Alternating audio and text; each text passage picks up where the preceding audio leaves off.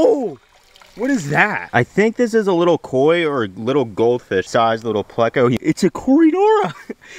oh, that's awesome. Look at all of the beautiful fish coming out of this trap. Welcome back to Rob's Aquatics, guys. In today's video, we're going to be going to the abandoned fountain and setting a 24 hour fish trap. Now, it is currently like 10 at night. I don't know I was just stammering on my words, but we're gonna go there right now and set a fish trap, right? We're gonna actually probably set two. It's a gamble because it is an abandoned property. There are homeless people and there's a chance they do actually steal or somebody drives by and steals all of the fish and both the traps, but we're going to be doing that in today's video. So please like the video, subscribe channel, and turn on post notifications. Let's get right into the video. So behind me guys, I just pulled off some fresh water changes on both the 55 gallon tank right here and the 150 gallon tank. In the morning, I'll be giving you guys an update on those tanks as well. For the time being though, we're going to start driving up to the abandoned fountains to see what's good. I just showered, so I'm not going to be getting dirty right now. We're literally just going to be setting the traps. I've got some cat food, I've got the traps. So we're ready to roll out and I'll catch you guys there. All right guys, we're here. I'm gonna try to keep it low because the last time I was here, there were barking dogs and there were people in the house, like homeless people, and there's a car pulling up. So that's kind of weird, might be a cop, low key. But we're gonna get a trap baited up and I might just bring my phone so I could hold the flashlight better because I'm rolling, rolling solo and when if I, if I have to fight a homeless guy, I'd rather drop my phone than my camera. You know, I'd rather have a little bit more hands free. But I will say, if I do have to fight a homeless guy, I'm ready. I'm ready for it. All right, guys, I got a whole bag of cat food in this fish trap. So the fish should be having a lot of bait. So now we gotta head into the dark and see if we can't set this trap without getting attacked by the homeless. The lens keeps fogging up, but guys, this is where we're headed right now. But into the darkness is where we're headed. Wish me luck. All right, Guys, I lied. We're bringing the camera and the flashlight. I'm able to hold them both, so we should be okay. Oh, God.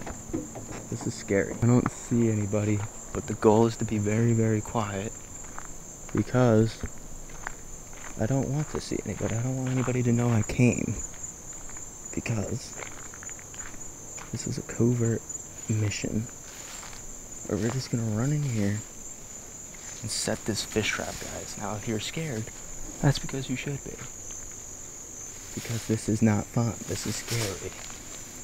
But I think we'll be fine. There's definitely going to be a load of fish in here. Because, oh, look at that, guys. So many mollies and platies. We'll just throw that down right there and let's get out of here. See? I'm scared, I'm scared, I'm scared. Mommy, mommy, please. Alright. So, I don't think I don't think we alerted anybody that we just came through here. I don't see anybody. And now that we're locked in the car, I could pretty confidently say, guys, in my full voice, that we successfully set the fish trap at the abandoned fountain. Now we gotta give it 24 hours and we might pop over to another location while it sits. But that was scary. I'm not gonna lie. That was scary. Homeless people are the most frightening things in the world. Like, holy smokes. Whew, I didn't hear the dog this time but maybe they just weren't awake and they didn't hear me. And before we run out to the fountain, guys, it's been sitting overnight, so it should be loaded with a ton of fish. Given how much food we put in, how much time we gave, it should be jam-packed full of fish. But before we go out there, we're gonna do a quick feeding and update on the kids. So right here, guys, we got my 150 gallon discus tank, and right behind me, we have the 55 gallon tank. I don't even know what we'd call it, because this tank right here is literally just full of catches. I guess you could technically call it like a native aquarium, because all the fish in here are wild caught and then thrown in here. So we got a lot of gourami in here. We got a lot of the angelfish. And then we got a couple little oddballs like some pufferfish that we caught the other day. We have a lungfish in here. We got Mowgli, the turtle, a lot of banjo catfish, all sorts of catfish. The striped Raphael somebody asked about, he's actually still in here as well. He's just down in the muck somewhere. I mean, it's not actual muck. Oh, there's Mowgli's little foot.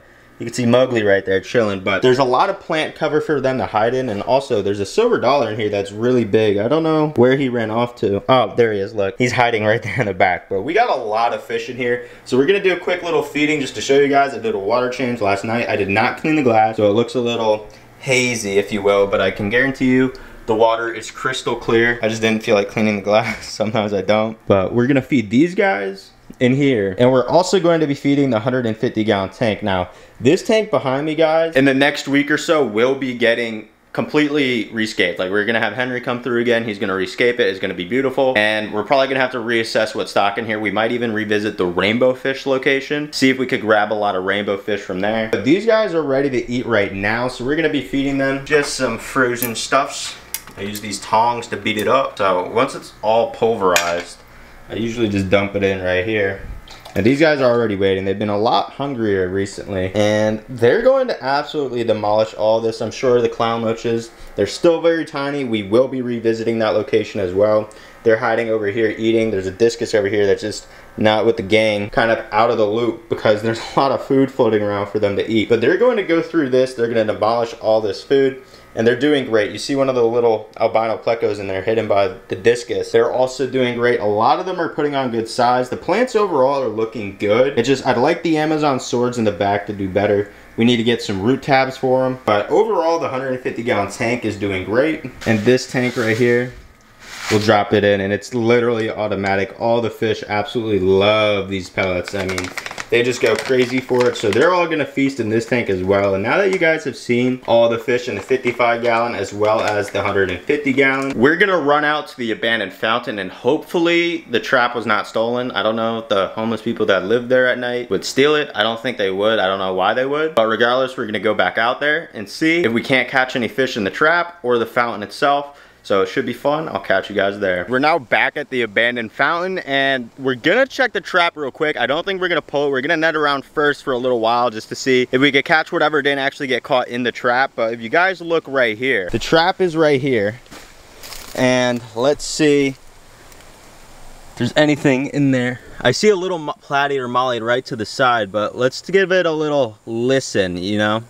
Let's give it a little sound check. Oh, we got a ton of fish in the fish trap, so that's awesome. We'll check it after we finish fishing. But for right now, guys, I'm gonna pick up this big old net right here. Any of the larger mollies in here we'll be able to catch out. So we're gonna see if we can't catch out any of the mollies and platies that are actually in here. But I could see a ton of babies. This net is way too big. So we'll just come around here. Look at that. They're using the palm fronds as cover, so maybe actually might be best for right now to just remove this stuff. Give us the best chance of catching them as possible. But my thought process is, is a super big net like this one, a lot of the muck will fall through, but a lot of the fish that are in here won't. And that first net proved to be unsuccessful, but it's fine. And we'll scoop through all the gunk. Fish love to hide in the gunk. Oh, I just saw a few back there. Let's see. Oh, this stuff actually is so nasty smelling. You guys uh, should be glad that you don't have smell-o-vision. Oh no. Oh, okay, so that's actually a dead molly right there that was just sitting at the substrate. That's pretty disgusting. And we're just gonna come back under here, scoop up right there, get under that little frond. Oh, what is that? Hold on, I just saw something in here. What is, oh, it's a frog. I don't think I've ever seen a frog like this before. Guys, look at that frog. If you can identify it down below, oh, let me know. Oh, please don't escape. Please don't escape. No, no, back. If you can identify this frog in the comments down below, let me know. But first weird thing of the day, we're gonna keep on, we're gonna hold on to this little frog right here and get him in our little keeper bucket. But weird little frog, first find of the day. Not sure if that's anything special or not. I'm not really too familiar with frogs like that. We got some more little baby mollies sitting around the fish trap. And we're gonna definitely do at least one round around this pond to see if we can catch anything. I know there should be at least one little goldfish in here that we coined Houdini because he kept escaping us. But let's see Big scoop, big scoop. Oh! Another species of frog. Now, this is a little bullfrog. I know that for sure. If you look at its little legs here, they're able to actually completely evolve and get out. So we're just gonna leave him be, let him continue growing out. I'm sure there's plenty of mosquitoes and other bugs in here for him to feed on and continue growing. But we're gonna keep coming around. Boom. Oh, gross. This is actually so disgusting. Do we get any fish in this net right here? I don't see any fish in the bottom of the net, but that doesn't mean we didn't catch any. We got to inspect a little bit. Ew. Oh, oh, look, look. Wow, beautiful little molly right here in this muck right here. Beautiful little fish. We'll hold on to him. And we're gonna just see how many we could actually catch, guys. And I'll poke around here just a little bit longer, see if we can't see any more. And I'm probably gonna just return all this mess back into the fountain itself, just because if there's any fish we miss, they'll still have a chance to live. But we're gonna get this guy in our little bucket real quick. And I'm not sure if you guys could actually tell just how large this fountain is, but this fountain's like a couple hundred gallons. So if the fish are doing fine in here, we really shouldn't be removing them all. Keep it a little ecosystem. It's a little bit more fun that way. But I do wanna catch a lot of fish out of here. So we're gonna keep netting around and checking around before we pull up the fish trap. It's been around 14, 15 to 16 hours since I set the fish trap. So it's been a while. I'm getting so itchy just netting, like walking through all this tall grass. It's so, so itchy. Big net right here. Oh God, see this? Oh, let's see. What is going on here? What just happened? I have no idea what's happening. Help, help. I think, oh, wait. Oh, I see a huge molly in here. Come here, look at this. Uh, oh, no, he just fell. he just fell in the water. But what is this? Wow. Okay, so guys, when we first came here, there were a lot of these little goldfish or something in here. But this guy's looking a lot beefier. Wow, he's got some good size on him. I think this is a little koi or little goldfish, but he is beautiful. We'll definitely hold on to him. Not quite sure where we're gonna be putting it, but for the time being, we'll just hold on to him. So, so far guys, we've caught one of the mollies, this weird little frog, and then also this goldfish. We'll pick the net back up and keep working around here. Make sure we get all the waste stuff we pick up back in the pond just because I have no idea whether or not it holds fish. And I don't want to risk leaving any of them out of water, but another big net. Let's see what we got in here. It's gonna be a lot harder to sort through this one. But this net's really just better for picking out all the bigger fish. That's why I got the trap with the super fine mesh in the water because all the smaller ones are too quick and too small for me to actually catch with my net. But Nothing in that net. We're gonna keep we're gonna keep poking around. I'm gonna scrape the bottom of it, see if we could get under some of the bigger guys, because I know they're in here. Like that's the thing. Like I've seen some big adults in here as well. But it looks like we picked up a bunch of crap as per usual. I'm trying to figure out how to sort through this net right here. Oh, oh! Is that a oh success? Much success. Oh, Molly. We got a big big old little molly. The guys in here are mostly blue, but if you look right here, looks like we also caught a pleco. Now, I don't think I ever caught a pleco out of here, but this is a pretty good sized little pleco. He must have been grown out in here for a while, or he's just been eluding all my fishing tactics, but super cool little pleco and a little molly. We'll get them in our little keeper bucket real quick. Please don't jump out of my hands. If you fall into the grasses, I will never be able to find you again. Here you go, my friends. Into the bucket they go. They all look pretty good. This pond this abandoned fountain seems to have been doing a very good job at keeping these fish alive and healthy, which is nice to see because it wasn't this good when we first found it. Can't really see through all the mess, but like I said, guys, we're gonna be returning every drop of plantation. Anything we net out of here, we're pretty much just gonna put back. There's a big mesh of stuff right here. Let's see if any fish hiding right here. Scoop. All right, please remove yourself from my fish nets. Thank you. Nope, doesn't seem like there's anything in this net. Some of the mollies, most of the mollies actually, able to sit by, but we've been lucky enough to catch some other fish in here as well. I don't actually have a net that's capable of fitting under this little fountain piece but I know there's probably a lot of fish in there for sure. But since we put the trap in here I have not seen as many mollies and stuff. I see some smaller guys for sure. I actually just saw a few swim away right there and there's a few little baby like tiny little fry if you guys look. There's some tiny tiny little fry chilling right there by the cat food. So I know for a fact we're not going to be able to get all the fish out of here today because there are so many little juveniles. So my goal is to try to get as many adult fish out of here as I can. Let's see. That's a super fat net. I'd be surprised if there was nothing in it. Oh, oh, look, a super small little baby. Look at that. What are you? Oh, look at him. Isn't he just adorable, this little fish right here? We're gonna hold on to him for a second. Pick through this stuff right here. I'm not seeing like anything. Oh, oh, as I was saying that, I think I just saw one. So hard to tell this stuff. It just like coats the fish in green and makes it so difficult to do my job. We're gonna get all this stuff back in the water we're gonna get this little dude into our keeper bucket. Uh, oh, I just saw a bunch of fish. Big net, big net right here. I saw a bunch of fish, but I don't know if we actually caught any yet. Oh, what is that? Oh, awesome. Okay, so I see off the top a bigger fish, and then I just saw another molly. Let's bring it over by the keeper bucket real quick. Give them some water. Make sure they're all fine and dandy. It is super, super hot outside right now, guys. It's like blistering heat. I'm drenched in sweat. Oh, what are you? Oh, look. It's a Corydoras. oh, that's awesome. A beautiful little Corydoras. We'll get him in our keeper bucket. And let's see. Oh, look at the colors on you. This, hey bud, please stop. Please stop. I'm trying to show you off. You're beautiful.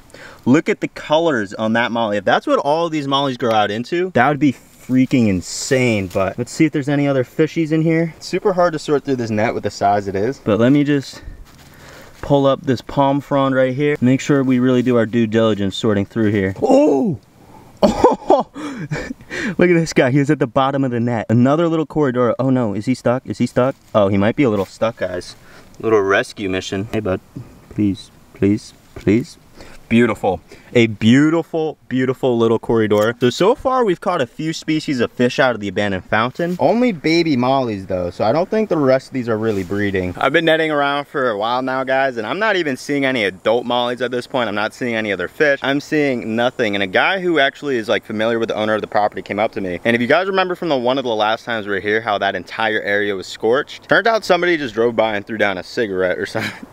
something horrible but we're about to pull up the trap. We're gonna see what we caught. I think i'm gonna try to just dump everything from the trap into straight into a bucket and then we'll see what it do. We'll see what it's up but i'm dripping in sweat. It's blistering hot outside and i'm ready to check this fish trap because we're not catching anything else out of this net. So i'm not really trying to cook outside in the heat too much longer but it's interesting because there's these little land snails on the fish trap as well but we're gonna pull this up. I hear nothing right now. Oh, look at that, guys. We caught a ton of... Oh, wow. I see a huge molly in here. This place is insane. This, this little fountain is literally so sick. But let's see what kind of fish we... I see so much color. Wow. Guys, look in there. Look at all of the beautiful fish coming out of this trap. Let me try to get a handful for you guys. Guys, look at this. Look at these beautiful fish. We got so many gorgeous, gorgeous little mollies and platies. A lot of greens and blues I never really see anywhere. Some absolute stunners. There's a red one right here. Look at this.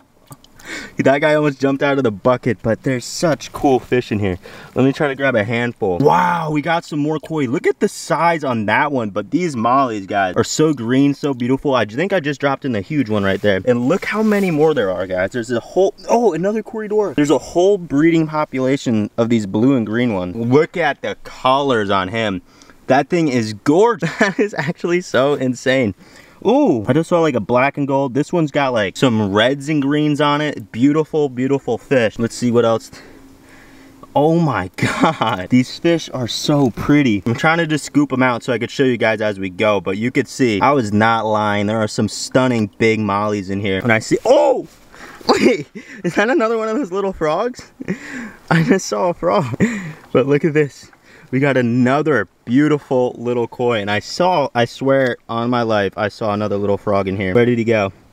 I don't know. He's in there somewhere but i think the rest of these guys we're gonna just try to dump into our little butt look at him! Look at him. Look at that frog. He's spazzing around. But i'm gonna try my best to just dump these guys into the bucket. It's super hard with one hand, but I believe that should do. No mollies left behind, guys. We're trying to get every fish out of this trap into the little bucket. And if you look at that, that is so insane. We got one more straggler and a water bug. Come here, bud. Oh, we got another little straggler right here. Oh, this molly's about to pop. Look how fat she is.